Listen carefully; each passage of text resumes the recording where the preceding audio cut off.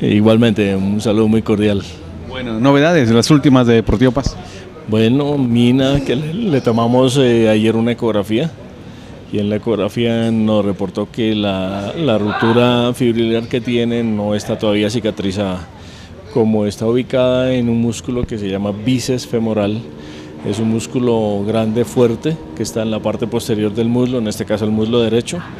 Entonces hoy eh, le están practicando una resonancia para precisar la profundidad de la lesión. Pero de todo modo ya con base en el resultado de la ecografía, definitivamente para el partido con Once Caldas, Mina no va a estar. Descartado Mina entonces, eh, lamentablemente. ¿Qué otro inconveniente hay con algún otro jugador? Eh, está en proceso de recuperación Ramírez. Hoy lo, lo valoramos y ya prácticamente no tiene dolor, entonces está terminando la, la parte de, de fisioterapia y fortalecimiento muscular y a ver si el fin de semana o el, el lunes comienza el trabajo de campo. Patiño. Patiño en la semana anterior, eh, más o menos el martes, pues, miércoles, refirió una fatiga en los, en los isquiotibiales del lado derecho.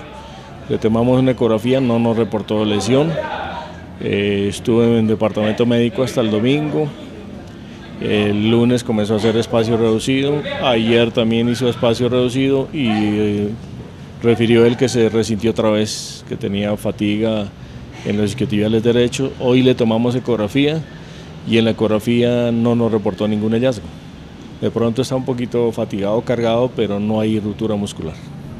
Pero no puede hacer entrenamientos con el equipo. No, no, no, no, porque en este momento, en- eh, de acuerdo a la evaluación que tuvimos hoy, una escala de 1 a 10 nos refirió 3-4, entonces en esas condiciones tiene que estar en, con- en fisioterapia. Muchas gracias, May. Bueno, con mucho gusto.